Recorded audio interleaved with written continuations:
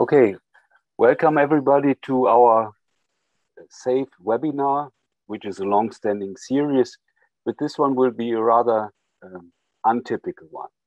Usually we talk about um, monetary policy, financial market issues, regulation, so pretty mundane stuff. Uh, this time we will get serious. We talk about religion and philosophy. The reason for that is that we have the great privilege and, and honor uh, to have Professor Benjamin Friedman presenting us his very well received book on religious roots of capitalism. It was published last year and got um, just ravish, outstanding in, endorsements for a very good and very simple reason.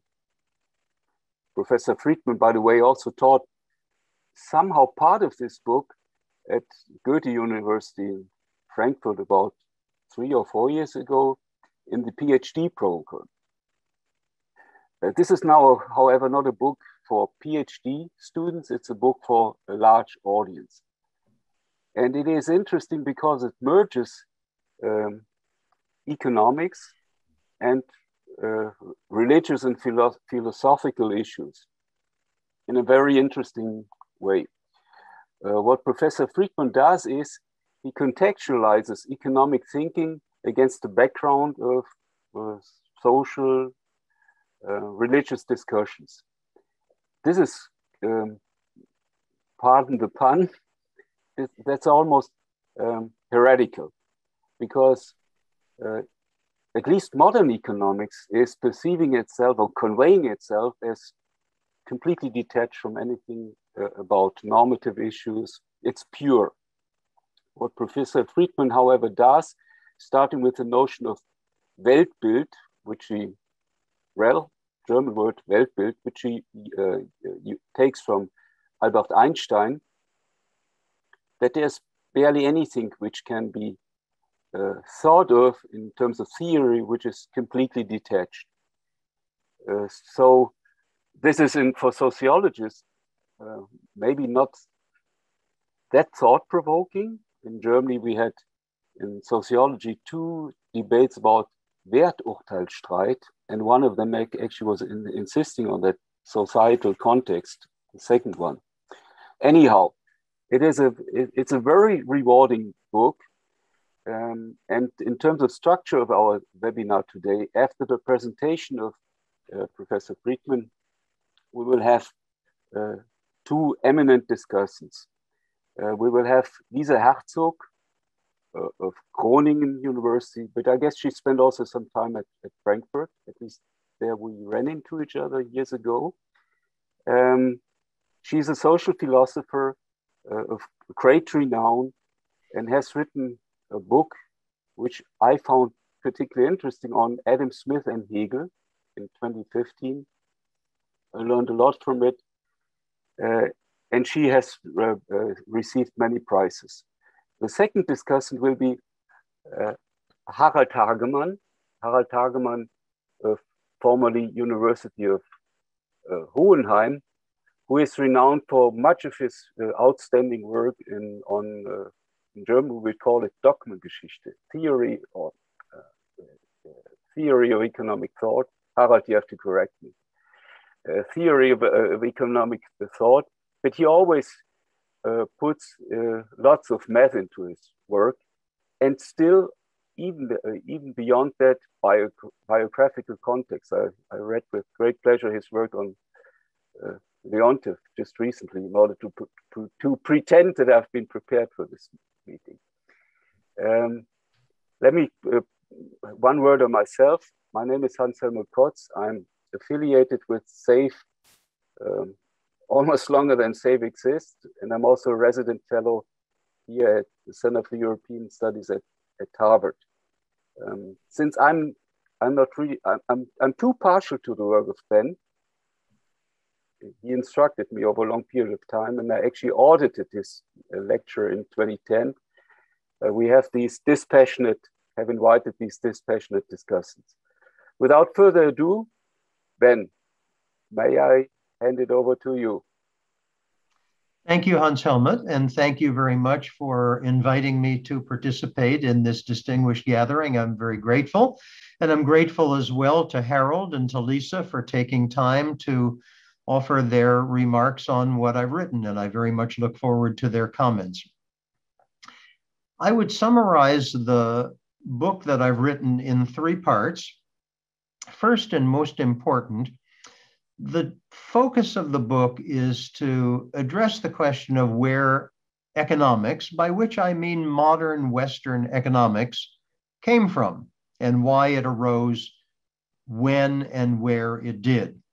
Now, to be quite specific, what I have in mind when I think of modern Western economics is the discipline built around the core insight that we often label the first fundamental welfare theorem.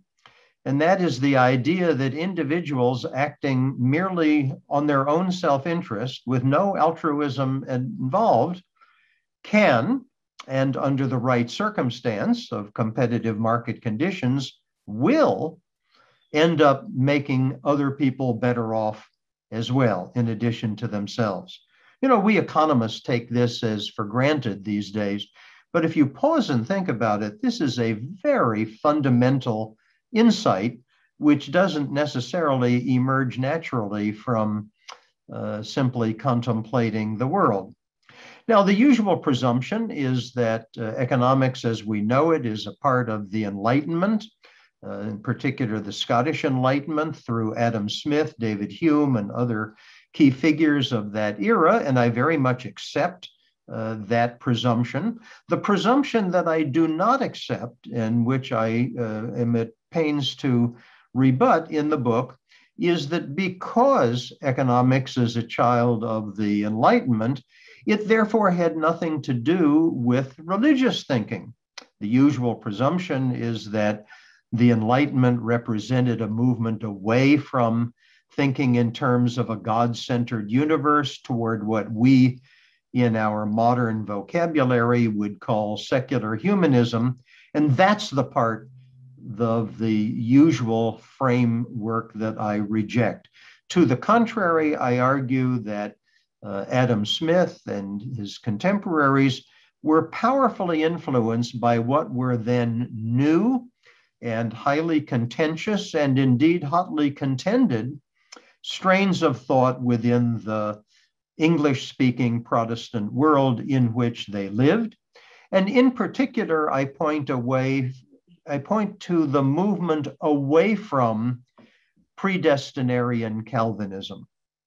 The key point in Calvinism uh, is, which I elaborate at some length in the book, uh, is a very, um, I would say, a very pessimistic view of the human character. Calvin's phrase was total depravity, very pessimistic view of people's chances for uh, effecting their own salvation in the afterlife. Uh, the key phrase there is predestination, under which a person's either being saved or not saved is determined not only before that person is born, but before the world is created, so that there's nothing the person can do about it.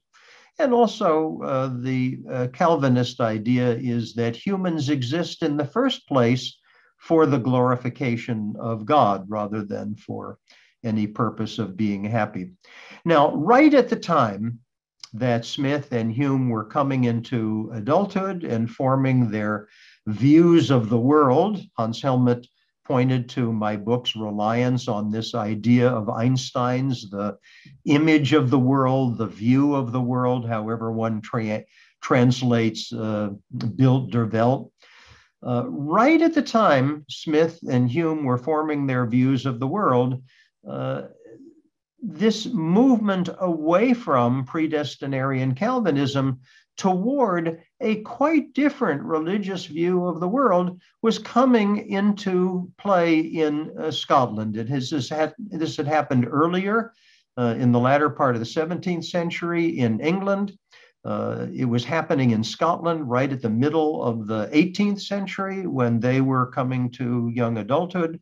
And in my own country, it was happening in the latter half of the 18th century, which not coincidentally is when the American Republic was created, but that is a different story. I argue that's not a coincidence, but that's not a different story. Now, I don't say that uh, Smith and Hume were religiously uh, committed individuals. That would be just false. Uh, we know, uh, and these people were international celebrities in their own lifetimes. We know a great deal biographically about them. And it's very clear that neither Smith nor Hume had any uh, religious uh, commitment to speak of. But to repeat, they lived in this world in which these new religious ideas were all around them. And importantly, the time and place in which they lived was one in which religion was more important, more central, more pervasive, more multidimensional. Religion affected everybody's lives in many ways that we don't have today. It all goes far beyond anything we know in modern Western society. And so I do not uh, try to claim that this uh, new religious thinking was the only influence on Smith and his contemporaries. Uh, I point to the uh, influence of Newton. Uh, Isaac Newton's great book, the Principia Mathematica, was published in 1687. By the time Smith was an undergraduate at Glasgow, uh, the book was part of the standard curriculum, not only at the Scottish universities, but also at Cambridge. Interestingly, not at Oxford, and maybe that's why Oxford lagged behind in scientific pursuits for so many years. But these people were all trained Newtonians. They were trained to think in terms of system and mechanism. And that was great. Uh, that was Smith's uh, great contribution, I believe. It's not that people before didn't have the insight that individuals acting on their own initiative could make others better off. They did. There were people like Mandeville, Quesnay, um, uh, Boisguilbert, importantly. But I argue that none of these people had uh, any explanation of a genuine kind for how this came about. None of them understood the importance of the competitive market mechanism. And that's what Smith did famously in The Wealth of Nations. And indeed, when you read the book and go back to those passages on how the price system works, uh, it's uh, just striking what Newtonian language he uses to describe this process. He could be describing, if you just look at the language, he could be describing uh, what makes the planets circle around the sun, but he's not. He's talking about what allows the price system to guide the allocation of economic activity. So uh, I argue that yes, of course, the Newtonian influence was important. Yes, of course, uh, his um, uh, his training in, in Stoic philosophy and the precepts of uh, natural harmony, the idea that if you do something, that makes me better off. Well, of course, this exhibits some natural harmony in the world, and Smith had all that as well. But I claim that what is missing in the standard account is the uh, this turn away from predestinarian Calvinism, which created a new, uh, more benign, more optimistic understanding of the human character, what humans acting on their own were capable of doing and achieving, uh, a new, more uh, expansive view of the possibilities for human agency, what humans, what can happen when humans simply act uh, on their own device, and also the purpose of our being here, so that if the purpose of the world is human happiness, then it's not surprising that the world, including human institutions like markets, are structured uh, structured so that uh, humans are better off.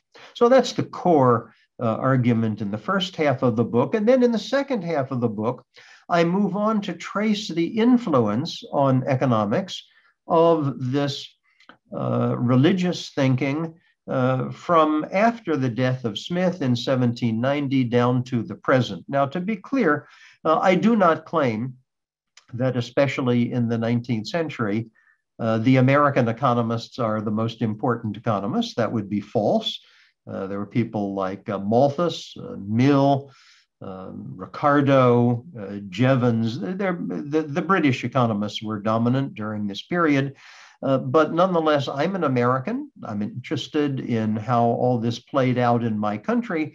And of course, by the time we get to the 20th century, uh, increasingly Americans start to uh, dominate the field. And so, uh, as a teleological matter, I wanted to see how all of this led to uh, where we are uh, with American uh, economics today.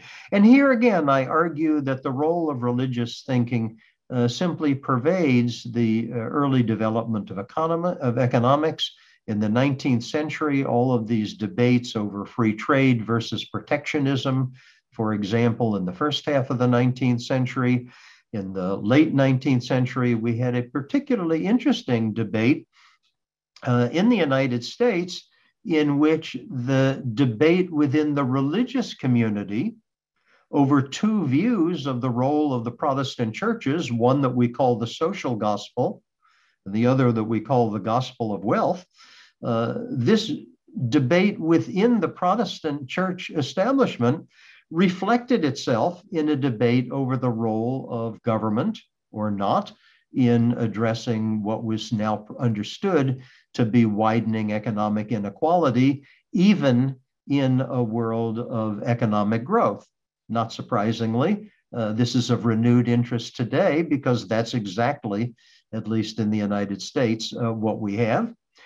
And on into the 20th century, uh, I think it's fair to uh, view Franklin Roosevelt's New Deal in the 1930s as the embodiment of social gospel thinking uh, in the, the, economic sphere and the coming of Keynes to America. Uh, and then uh, at the middle of the 20th century, a very important development, uh, the effects of which are still with us in my country today, and that is the coming together of economic conservatism and political conservatism under the catalyst of the threat of world communism. Then, the third and final aspect of the book that I would uh, mention uh, is the uh, particular role of religion through economics in American politics today. Uh, one of the great puzzles of American politics that our listeners may have encountered is the tendency of so many Americans to vote in ways that run counter to their economic interest. I have in mind, for example, uh, citizens in states like Mississippi and Kentucky that overwhelmingly vote for uh, candidates who would like to shrink or even eliminate programs like food stamps and public housing and supplemental income support. Uh, programs that residents of these states draw on to a much greater extent than residents of states elsewhere in the country, yet they vote against uh, these programs consistently. Now, our political science colleagues have an explanation for this, and I argue for the in the book that the political science explanation is not wrong, but seriously incomplete because it has no explanation for the fact that American evangelicals uh, members of evangelical Protestant denominations not only uh, vote overwhelmingly for conservative Republican uh, candidates, but also independently of elections express views on economics and on economic policies that are different from other from other Americans. Evangelicals think about the economy differently than other Americans. They think about the role of government in the economy differently from other Americans. And I argue that this just can't be an accident. We can't ignore that. And any attempt to explain these voting, these people's voting behavior in a way that simply sets aside and ignores the overwhelming body of survey evidence that we have that their views are genuinely different has to be seriously incomplete. And so the last part of the uh, book, shortest by far, uh, addresses this puzzle of American uh, politics today. So I, uh, Hans Helmut, I'll finish there. I think that's a summary, a fair summary of what I did in the book. And I very much look forward to Lisa's and to Harald's uh, comments. So thank you very much. Thank you very much, Ben. Uh, it occurred to me that I made a major mistake. I didn't really properly introduce yourself. In a second, I should add that you are the William Joseph Maier Professor of Political Eco Economy and former chairman of the Department of Economics at Harvard University. I will never do that again, Ben. Sorry for that. No. That is correct. I am. um, Harald, uh, did it ever occur to you that religion would have an impact on economics? Uh, yes. Uh, since it should I, be a little bit longer on that. since I have dealt with the subject more in seminars than writing myself on it, but reading Max Weber and the modern debate on the connection uh, between economics, some insights from modern endogenous growth theory, and how religion contributed as a main factor or was a main barrier to economic development in the long run. And um, one reason is uh, that I always was interested in historical developments, not only in the history of economic thought, as you were mentioning at the beginning, but also uh, on politics. Uh, uh and uh, I think this mix, uh, which also characterizes Ben's book between pure economics, but also economic development on the one economic thought on the one side, and uh, how it is engraved or integrated in the uh, in time and space, uh, how uh, certain historical, political uh, developments are affecting also economic thought and economic development was always the subject which interested me, although I did not myself write a lot on this. Now, in his introduction of his fascinating book on religion and the rise of capitalism, Ben Friedman refers to Max Weber's classic work on the Protestant ethics and uh, the spirit of capitalism, in which Weber claims that Protestantism was historically a spur to forms of personal behavior that gave rise to modern capitalism. But Ben also says explicitly uh, that his book, which shares some strands of the controversy on the powerful influence of religion, in substance is more nearly Weber upside down, in the sense that it is focusing more on thinking about economics than on economic behavior. And Ben argues in particular that the creators of modern economics, which he mentioned in his talk, also David Hume and particularly Adam Smith, whom I would say is a great hero in Ben's book, uh, lived a century later than the time on which Max Weber focuses, when belief in Calvinist predestination was in retreat among English speaking Protestants.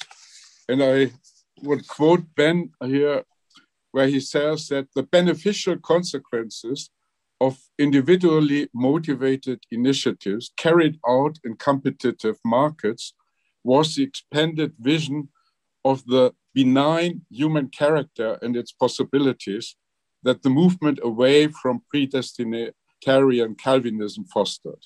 And here you have a contrast in Calvin, Calvin's is much more deterministic and highly pessimistic in his view of human nature. And this contrasts with the principal position of the Scottish Enlightenment, Ferguson, Hume, and Adam Smith in particular. So there's a greater trust in human nature and the outcome of individual decisions in the Scottish Enlightenment. Uh, just one side remark on page 372, Ben also refers to Karl Marx and Friedrich Engels, and he quotes Karl Marx with the famous statement that religion is the opium of the people. Now, Friedrich Engels, who himself was the son of a very successful Protestant uh, textile industrialist, which gave him also the money to support Marx in his life and uh, his writing activities.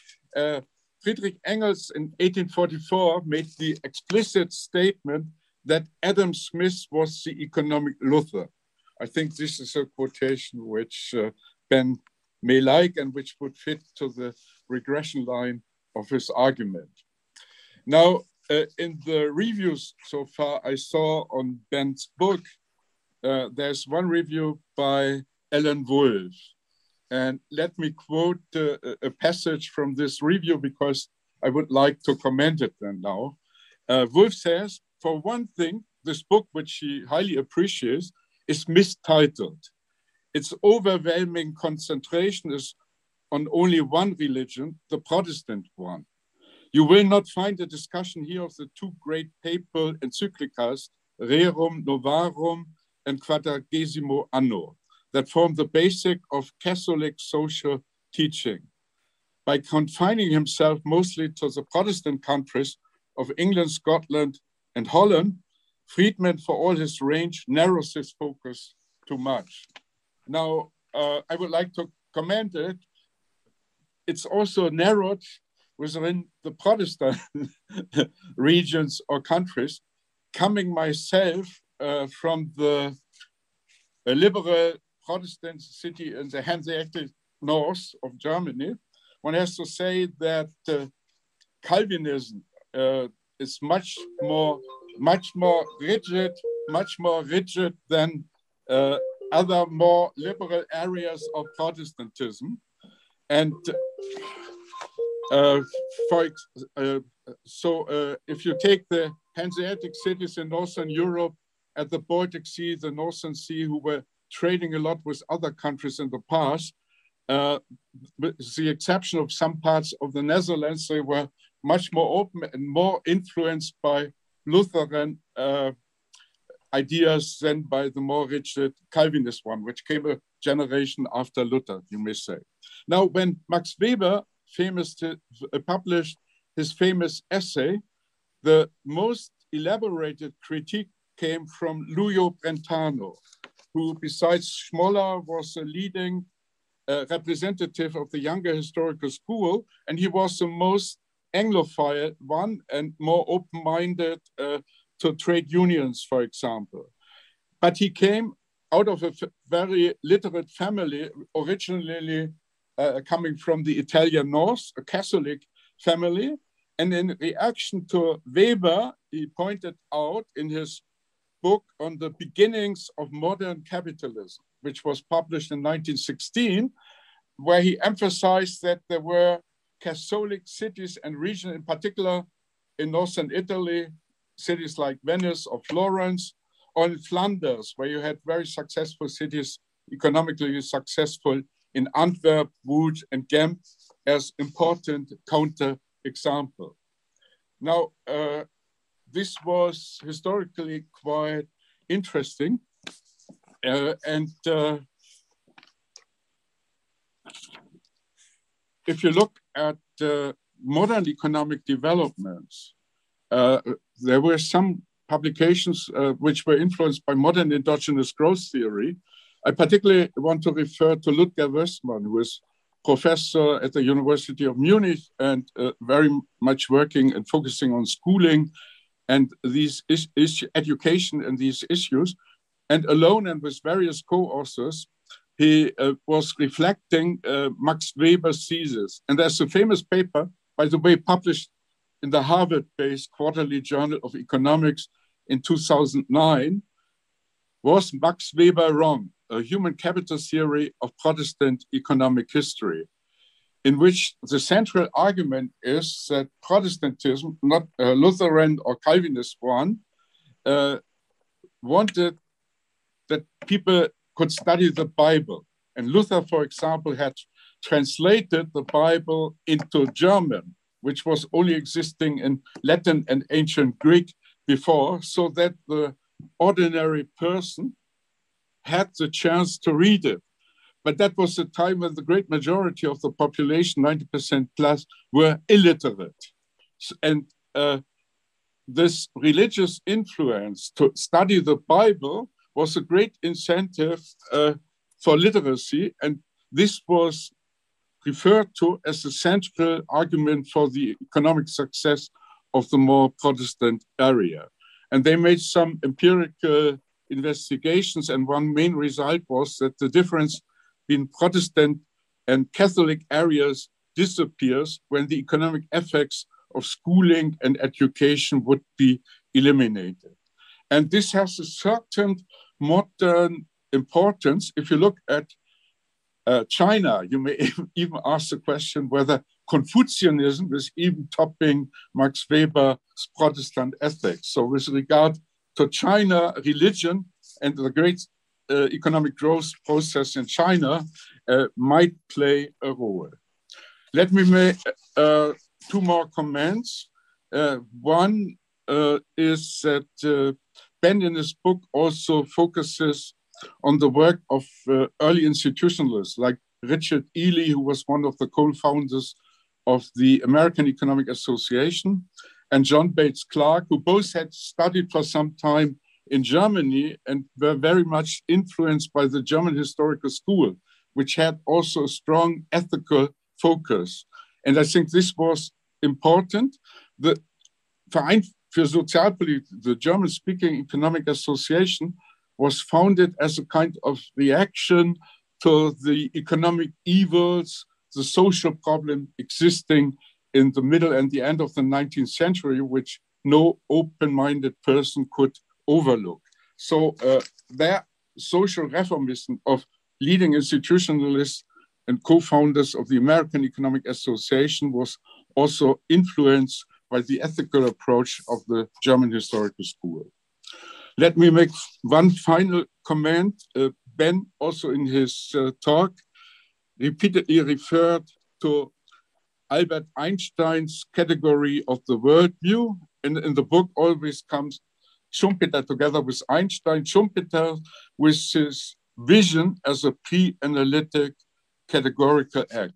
Let me add here that Robert Heilbroner, who studied with Schumpeter in the late 1930s at Harvard, wrote a book which was a million bestseller on the worldly philosophers, which interestingly starts with Adam Smith and ends with Keynes. In between, uh, ends with Schumpeter and Keynes. In between, there's Marx.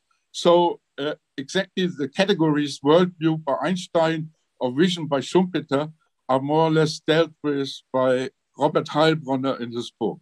Now, Thomas Kuhn in the structure of scientific revolutions, as Ben points out, uh, emphasizes the importance of non-intellectual aspects of culture, specifically the role of institutional and socio-economic factors in scientific developments. And coming back to Schumpeter, there's a lot of discussion in the last 20 years on the so-called lost seventh chapter uh, in his theory of economic development, which originally came out in 1911. And when the second and revised edition, which was also the basis for the English edition, which was published by Harvard University Press in 34, uh, it had seven chapters and not six.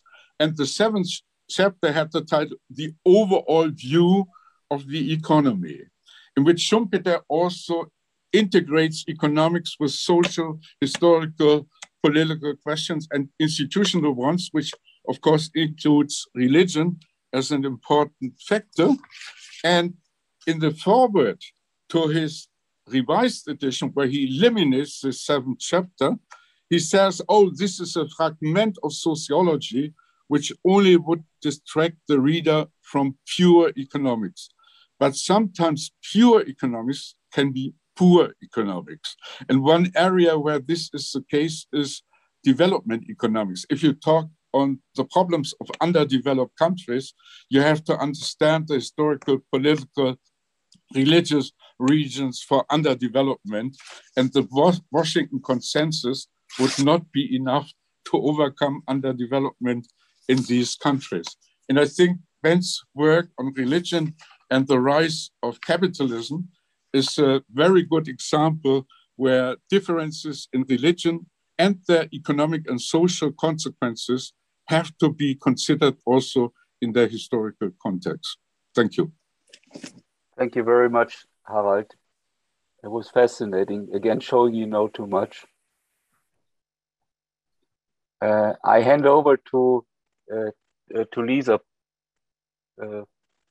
Pure economics is poor economics. I've stolen that from Harald. Uh, reading your work, and in particular reading your 2014 work, uh, maybe I'm wrong. Maybe, maybe I didn't read it carefully enough, but I didn't find anything about religion. So how does that relate to your work? Yeah, thank you, and thank you for having me here. Uh, my book was asking different questions, but I agree very much with the reading of Adam Smith um, in, in Ben's book. Um, I think from the sources, it's actually also quite plausible that Ben, uh, sorry, not Ben, Smith was actually an, a deist. Um, he refers very often in his works to the deity, the creator, and and I I've always found this irritating that this side of his thought was not taken up in a critical way by later thinkers because it means that we smuggle theological assumptions into the further history of economic thought.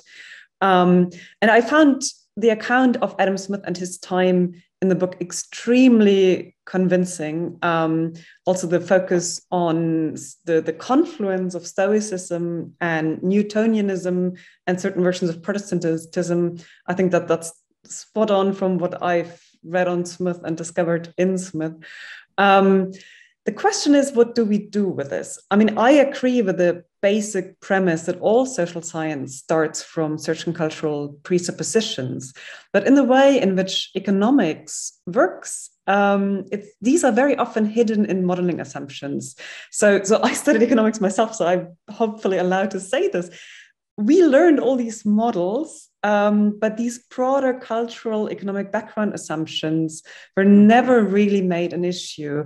And if you come from a different field, like philosophy in my case, and you want to do interdisciplinary work together with um, economists or drawing on economic writings, that's actually a constant frustration that the implicit premises are not made very explicit.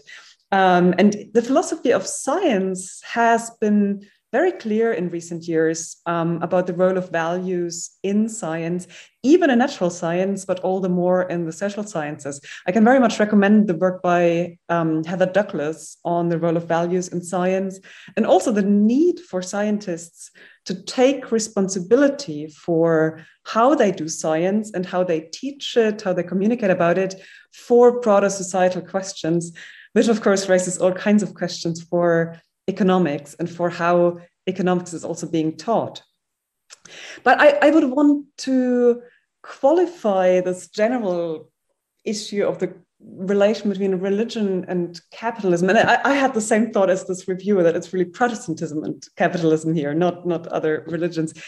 Um, that it's actually an empirical question to what extent relig- religious content plays a role at different points in time for economic thinking at the level of doctrine or at the level of these broader worldviews, Weltbilder, whatever you call it.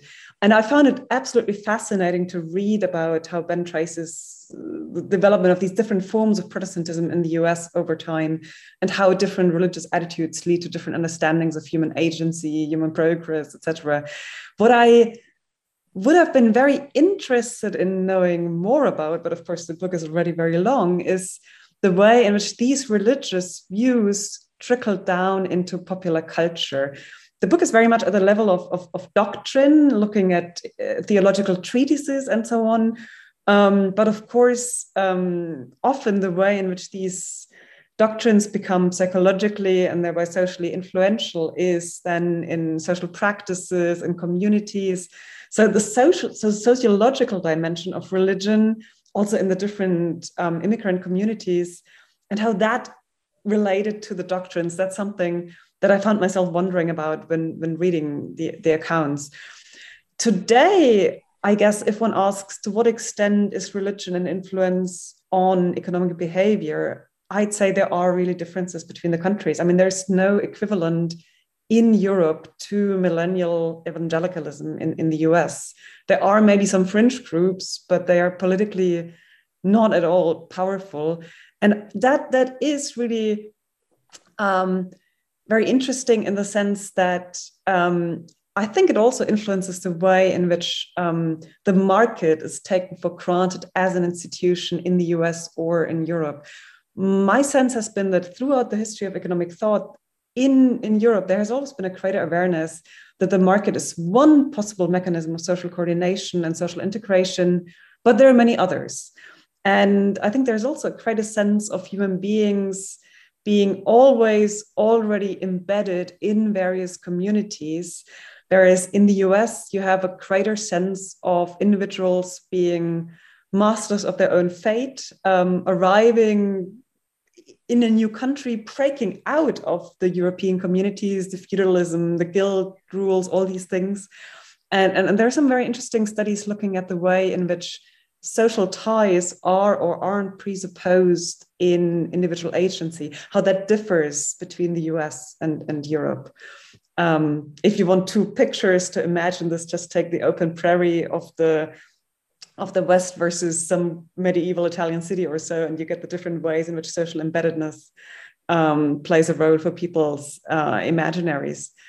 And I guess for me, the central problem or the, cent- the cent- central challenge today from a systematic perspective is really this assumption of self-regulation in markets that is so deeply anchored both in economic thinking and in this wider worldview um, and the conditions of the possibility of markets actually self-regulating in this way are often completely overshadowed um, and what is taught especially in undergrad education are a few models and what they convey is, in a way, this Weltbild, this image of the, the, the, market much more than the really sophisticated theories that economists have also developed. Just to, to give one example, um, the uh, general equilibrium model that is taught so often assu- assumes full information and does, doesn't thematize the way in which information is actually handled in markets. We have all the research on the economics of information, information asymmetries, um, markets for lemons, all these things, but those are not integrated in undergrad teaching. And so, in that sense, a very simplistic picture gets conveyed to the masses of people who only ever get a, a sort of short introduction in, into economic thinking at an undergrad level. So, I think that's something where the book, by drawing attention to the religious background of these early economic models, um, also raises questions about how we actually teach economics, um, because the models don't help to unlock all these interesting backgrounds, but they also then don't allow people to challenge these assumptions and to ask, well, to what extent do people still hold these views? Can, can we make sense of these assumptions today? Um, and so, in that sense, I wish that, that all economics students got a sense of these broader cultural and religious backgrounds from the very beginning when, when they uh, start studying economics before having to learn all the models. Thank you very much, Lisa. Um, ben, may I ask you to respond? Because you started off with the first theorem of welfare economics, and Lisa has now been criticizing that you insist on that. May I get you going? Yes, I'd be happy to. And for, let me again thank both Harald and Lisa for their very insightful and thoughtful uh, comments. And there's much in what you said that I'm not going to be able to respond to. I'll pick out just a few highlights. Uh, the place where I should start is uh, with uh, Harald's uh, quoting from uh, Alan Wolfe's remarks uh, that the in my book what I focus on is Protestantism and in particular the Protestantism of the English speaking world. And perhaps I should have made uh, clearer uh, in the book, uh, but l- let me clarify now. I did not set out to write a book on the general influence of religions, plural, on economic thinking. That's not what I was doing. Uh, I'm an economist. I'm, I'm, not. I'm not an intellectual historian. I suppose I was uh, masquerading as an intellectual historian in this book, but I'm, that's not what I do. I'm an economist. And what I was trying to do was understand where economics, by which I mean our economics, came from. And uh, it, it, will not surprise you that I know something about um, the you know Roman Catholic thinking and the scholastics and all that. It will not surprise you that I know something about the Hebrew Bible and the Talmud. I do, but uh, Smith, uh, and I, I think um, I, I, think it was uh, either Lisa or Harald said that Smith is the great hero in the book, and I think that's quite right. That's a fair reading. Uh, Smith uh, lived in 18th century Scotland. It was a Protestant society. There were some there were some Roman Catholics around it is not obvious that uh, Smith knew uh, many Roman Catholics, uh, nor that he was influenced by them uh, in any way. Uh, I did some research. I, I, worked very hard to try to find out whether Smith had ever met a Jew. Uh, is very very. there's some suggestive evidence that he might. there were two Jews who were uh, studying in Edinburgh at the time he was teaching in Glasgow. That's as close as I was able to come. Uh, Hume uh, was quite friendly with a Jew named Isaac de Pinto, and they had a correspondence that's published. Um, there's no evidence that Smith ever met a uh, Muslim. There's no evidence that Smith ever met uh, a Confucian. So, um, if I were writing a book on how religious thinking, broadly construed, has influenced thinking about economics. I, of course, would have talked about the Talmud. I would have talked about the scholastics. Um, I know a little about uh, you know Muslim views. Uh, I could have gone off and learned something about uh, Confucianism. There's a there's a marvelous book on uh, um, Japan and this in Japan uh, by we were chatting earlier about Talcott Parsons. Another of Talcott Parsons' students was the sociologist Robert Bellah, who under Parsons wrote his PhD thesis uh, on the role of religion on uh, capitalist development in Japan. The book is called uh, Tokugawa uh, Religion. But that's not what I was doing. What I was interested in is where I started at the other end, you see. I started at the end of where did our economics come from? And that led me back to Smith. And once I had uh, Smith and his contemporaries, and once I had uh, gotten there, then what mattered was the religious thinking swirling around them and the fact that uh, in the year 400, the people who were writing the Talmud had interesting ideas with economic implications uh, didn't uh, didn't enter.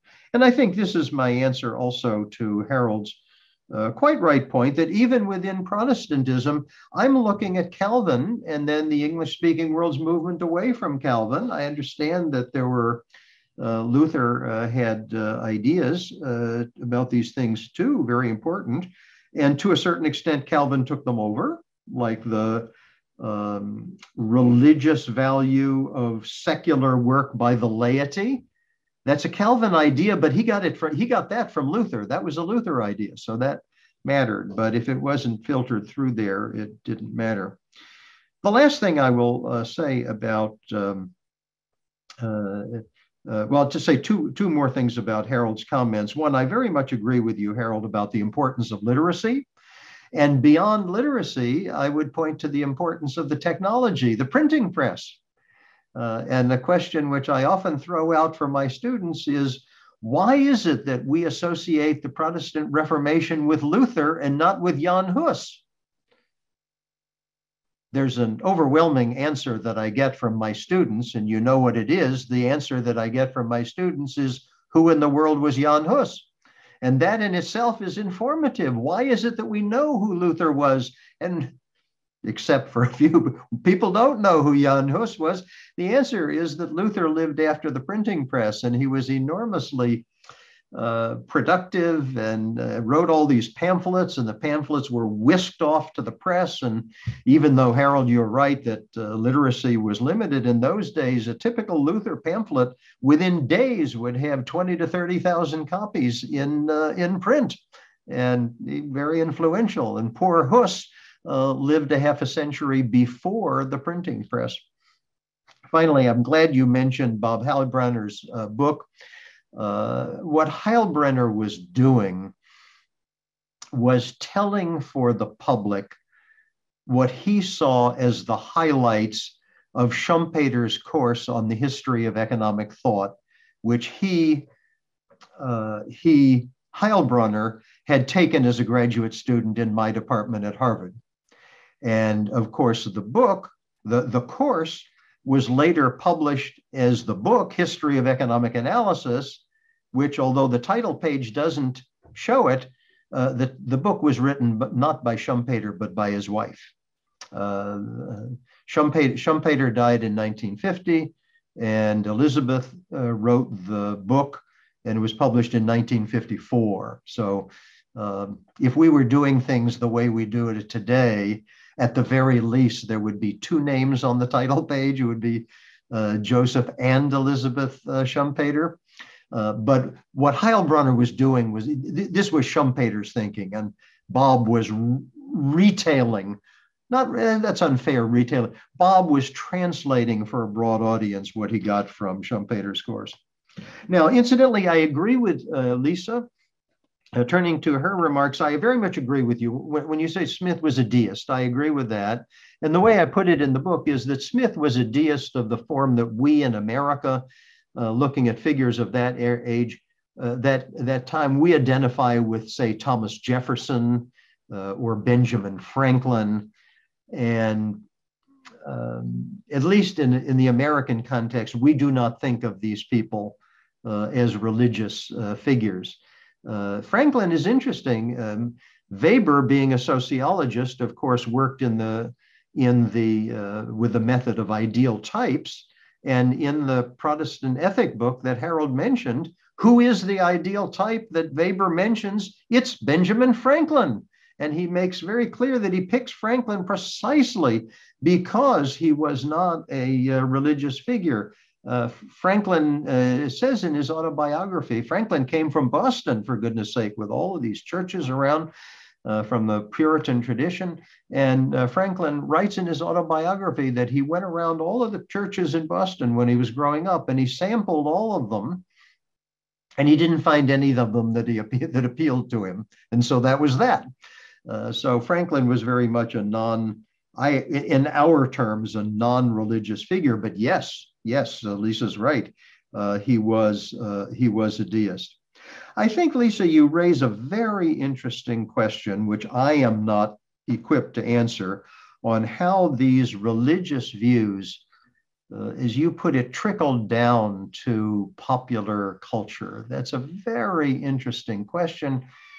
And the only observation I would make is that in many cases, they didn't there was always a tension between the religious views of the intellectual elite and you're quite right that's what i'm writing about is i'm writing about the thinking not the actions not the everyday behavior not the buying and selling but the thinking of people whom we whose names we would recognize as economists who who had thoughts and wrote them down. By definition, this is the intellectual elite.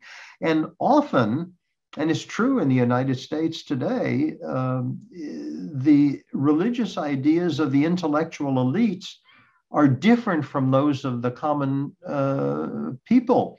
Uh, in Smith's day, the great debate in Scotland was between the moderates, that's Smith's group, and uh, what we now call the evangelicals, not their uh, word for them. They called themselves the they called themselves the popular party. Why? Because they they uh, embodied the view of ordinary people. Smith and his uh, colleagues in the in the moderate party, the moderates were the anti-predestinarians.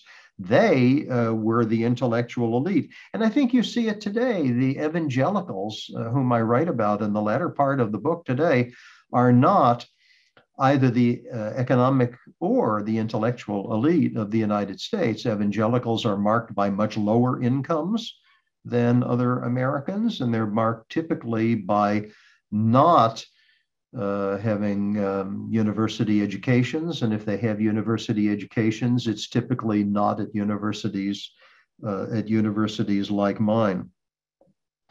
And the final aspect of uh, your very insightful comments that I'll uh, refer to, Lisa, is your notion of um, uh, the idea of these religious influences on uh, economic behavior. Harald is right. My, my book is not about religious influences on economic behavior, it's about economic thinking. But Lisa, you're quite right. There are these religious influences on economic behavior, and they're still here today. Ask why, for example, uh, Americans uh, work roughly a month a year more than our friends in, uh, in Europe. The typical European works about 1,500 hours a year, and the typical American works more like 17 100 uh, hours a year. Where does that come from? I think any, and this is your point, Lisa, I think any attempt to explain that behavioral difference without adverting to the um, uh, Puritan Calvinist um, uh, origins of the United States, I think isn't going to uh, isn't going to get very far. So uh, there's lots more I could say, but I know, Hans Helmut, that we want to leave uh, time for uh, audience participation. So let me simply once again thank both Lisa and Harald for your very thoughtful, very insightful comments, and perhaps we can follow up uh, later on. But Hans Helmut, back to you. Thank you very much, Ben. I'd like to have a little bit of a re reaction from our two discussants, and then we have 40, 50 minutes for Q&A or slightly less. The first is, uh, Harald, you spoke of Lujo uh, von Brentano and his reference to the Italian cities. Do we need Ben's perspective on capitalism in Italy as a different version of capitalism than the one he is talking about? Yes, of course. it was uh, also concerning time a little bit earlier. But uh, if you think of the creation of modern banking system, for example, in uh, you still have many Italian expressions uh, in uh, in finance, like giro or others. So, uh, of course, that was a different form of capitalism at that time, but it was okay. There were it was uh, developed, developed and elaborated before Luther and Calvin. So, uh, mm-hmm. but still, when there was one main Catholic Church dominating greater parts of Europe. Mm, perhaps I may allow to make three sh very short comments to what. Uh, one minute. Yeah, one minute. Ben just said. Uh, the first point concerning uh, working time, there are exceptions in Europe if you look at Switzerland, they are closer to the United States. But this might be due to the Calvinist tradition you have in Switzerland. they have still a more 45 hours working week. Second, you Cal, Cal, Calvin and Zwingli. Yeah, yeah. And second, you were referring to John Hus uh, and Bohemia. And unfortunately, Hus was murdered uh, just less than 200 kilometers less uh, south of my place. Uh, but when you look at the former uh, communist system in Central and Eastern Europe, then Bohemia, where the influence of Hus and Czech Protestantism was the greatest, had by far the highest productivity within the communist world. And when uh, the Soviet system collapsed in uh, the early 1990s, the Czech Republic with Bohemia, which was the industrial center of the Danube monarchy, had the highest productivity levels and is still doing quite well. And third, you're completely right with regard to technology, and there you have a much better link to Adam Smith and the Scottish Enlightenment. Smith wrote on the eve of the Industrial Revolution, and in his dealing with division of labor and technical progress, he was very far-sighted. Lisa, um, what I liked in particular about your remarks was that you said agency is important, and then you stressed um, there are other mechanisms of uh, regulating uh, beyond markets. So that's the the notion of there's varieties of capitalism, um, and uh, here in Europe we have many of them. How would you link that to our Ben's book to our European context? See, I'm I'm I'm trying to convince Ben to write about Europe also. that is an interesting question, and um, given time constraints, I, I just want to make two points here. So, so one is, I mean, when one speaks about agency, one can think about how does religion either enable or hinder a human sense of agency. But there is another question here, and that's probably how a sociologist of religion would look at that question. And I would want to add this perspective, not saying that one is right and the other wrong, but I think it's important to keep that as mind in mind don't people also to some extent choose their religious views based on their economic and political situation. So, a sociologist of religion might say the reason why evangelicalism is so powerful in the US is because if you are among the working poor of the US today, your life is so hopeless, and the likelihood that you'll work your way up in the way Smith imagined is that's so unlikely. So you better believe that Jesus comes back soon because that's the only way to get a bit of hope into your life. So there's a chicken and egg question here about where the preference for certain religion comes from and what that then does to humans' agency. I think one other dimension of this is the relation between individual and collective agency. Um, and, and that relates to what I said about different mechanisms of social integration. Um, today, very, very many issues in our societies, like climate change, inequality, I mean, all, all the big problems basically require collective agent and not only individual agency.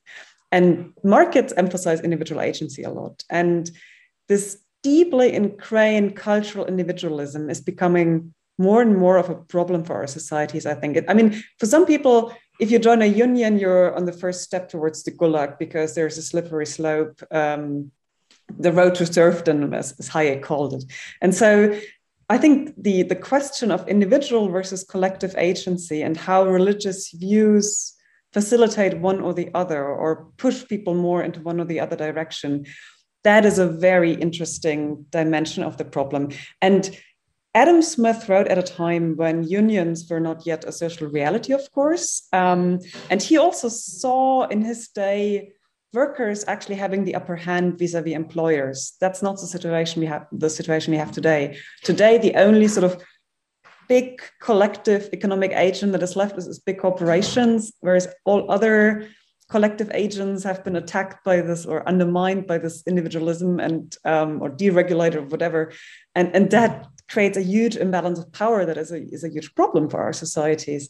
So much more could be said, but I'll stop here. But just this relation between what I can do as an individual and where I should work together with others, uh, not in competition, but in cooperation, that seems to be a very important dimension of this deep cultural and religious influence of, of economic thinking.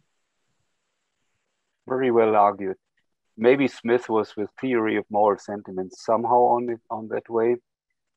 And Harald, you're invited to correct me. Uh, I guess John Stuart Mill also saw good reasons for collective action and, and for units. Now I'll try to bring in the audience. So I'll, the, the first question is by Abdul Kadir Gulsen. Can getting rich be the only aim of human beings? could you please elaborate on problems such as increased loneliness, selfishness, and so forth? Ben, easy question to you. Um, well, I don't have a lot to say on lonely subject of of loneliness, but Uh, I don't know anyone, uh, nor any economist, who would have thought that getting rich is the only uh, objective of human beings. Um, there's not a lot on the subject in uh, what I wrote, except to uh, that I, I did uh, devote quite a bit of space to Smith in the book. Again, whoever said that Smith is the great hero of the book is right. And Smith uh, certainly has an enormous amount to say about the role of uh, material uh, wealth and material living standards in living the good life. Uh, look, this is a person who wrote an entire book called, the, as you just pointed out, Hans Helmut, The Theory of Moral uh, Sentiments. Smith was not an economist, there was no such word there. He was a professor of moral philosophy.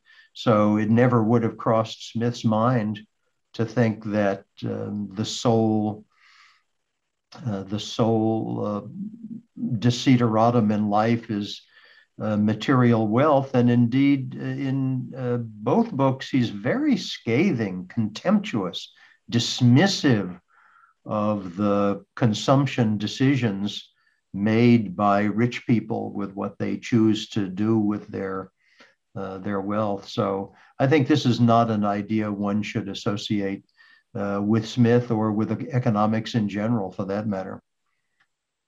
The, uh, the, the, question of George Perendia refers to uh, your point that some in the US seemingly are just voting against their interest. This end Kansas not anymore, Ben. Well, he's right to point to uh, the what's the matter. He's, he's referring to a book uh, by a journalist, not an economist, but an insight or, an, or a political scientist, a journalist uh, from uh, the United States called Thomas Frank. And the, the Frank book is very good. I uh, refer to it in my, uh, in my own book. It is of the political science form, however, in that it does not take on board any religious uh, differences between the evangelicals and other Americans. And so uh, I absolutely read, uh, recommend to people the, the Thomas Frank book. The title is What's the Matter with Kansas? Uh, incidentally, the title is itself quoting from a famous newspaper article written in something like 1909, 1910. He didn't come up with the title on its own on his own. Uh, but the, the, the book is all about this puzzle of why um, why people in Mississippi and Kentucky vote for people who want to cut back food stamps. And it's not that his, I wouldn't say that Frank's explanation, which is the standard political science explanation, is wrong. I just say it's seriously incomplete. And my evidence for saying that it's incomplete is that it, uh, it, it makes no attempt to explain why evangelicals, uh, as opposed to other Americans, have these distinct views on economics and the economy and the role of government. But the Hans book is very good. Sorry, Ben. Hans-Jörg no. uh, Naumer is asking, uh, what's the role of Methodism and its founder, John Wesley, who was deeply influenced by the uh, Bohemian brothers, the Herrnhuter? Mm. Uh, yes, uh, Wesley is an influential person in this story, not so much for Smith, but for the American uh, part of my uh, story. Wesley and Smith were contemporaries, and I tried to find out whether there was evidence that uh, Smith owned any of Wesley's writings. Not clear that he did. Um, but importantly, for this purpose, Wesley was a strong, strong, outspoken anti predestinarian. He dismissed the uh, theory, Calvinist idea of predestination in really striking uh, terms. He called it blasphemy. Uh, he called it a horrible uh, doctrine. And so, to the extent that my main hypothesis about where uh, modern Western economics comes from hinges in part on, in important part, on this move away from predestinarian Calvinism, Wesley is absolutely a, a, key part of that with his uh, opposition to uh, predestination theory. And Wesley, even though Wesley uh, appeared in the United States only very briefly in the 1730s, he tried to open a mission in Georgia and it was not successful. He went back home to the UK. But Methodism became very important in the United States, especially in the 19th century. And today, uh, Methodism is the second largest Protestant denomination in the United States after the Southern Baptists. So, very, very important. Um, in comes our friend Jan Kran. Jan is asking uh, You mentioned the role of Protestant church and the role of government in the economy. Could you comment on the same issues in Europe? Oh well, no, I uh, I, I, don't like to uh, think of myself as going around commenting on other people's countries. Come on, Ben. But um, uh, we the I see the two as very different because religious. Uh, write any sentence with religious as an adjective and then a noun afterward, and then talk about uh, Europe versus the United States. It's a very fill in the fill in the blank with any noun you like. Uh, America is very different in terms of religious belief, religious participation, religious commitment, uh, church going, uh, whatever. Uh, it's a very different world here than what you have in uh, Europe, and that's not to say uh, one is better and one is not. But our world of the churches is, and and when and today, incidentally, because because of our another difference, importantly, uh, is that because of our commitment to immigration, which until very recently you have not had. Um, when I say the churches I mean also the synagogues, the mosques, the Hindu temples, just on and on and on, because our religious landscape is uh, diverse in a way that yours is not. Uh, the role of the churches here is much more important than anything you have in Europe. I, I found in particular interesting uh, your chapter 12 on economics for social improvement and what I wasn't aware of that at the beginning of American economics, uh, this was very much oriented. You cite uh, John Bates Clark and Richard T. Ely towards improving the fate of, of, of, the population. But I'd like to have our two discussants come in for the last minute. Lisa. I mean, just to continue the discussion of the differences, one point that does get discussed in the book that I find very interesting is this idea that religious communities have certain responsibilities, such as taking care of childcare or education and so on. But it's really very different in, in, in Europe. I mean, France is the other extreme where you have completely sec- secularized schools, and just Wednesday afternoon, kids are free to go to religious communities for religious education. Germany is a bit in the middle. Um, but that I think is a very important element for explaining the very different attitudes towards the welfare state. Um, that it's okay to receive support from religious communities, and this is also where a lot of private philanthropy that happens. I mean, not not big philanthropy so much, but more sort of mid-level uh, redistribution. But this perception that this is not the state's business, um, I find that really interesting because that there's no equivalent to that really in, in, in, the European countries that I, I know about. So that would be another element of the question um, uh, by, by, by the last um, participant. Harald, there's now here, of course, this 3.5 billion build back better with a quite a quite a social dimension. Okay, let Harald. me just mention one point. Ben in his book has also sometimes the expression uh, in Latin, cuius regio eius religio, which is referring to the fact that in many regions, not only in Germany, since the middle of the 16th century, the whole population had to take the religion of the ruler, the king, the duke, or whatever. And here I want to refer to Prussia as an important counterexample, uh, where they, in their enlightened self-interest, were much more tolerant on religious issues. And if you ask the question, why the hell could such a backward rural area like Prussia with a low population ever become a European superpower. And uh, one of the main reasons is the fact that they were tolerant on religious issues, even with some exceptional cases, the ruler was a Catholic, but mainly Protestant. And they benefited a lot from the influx of uh, uh, people who were uh, forced out of other countries, like the Huguenots after the revision of the Edict of Nantes in 1685 in France.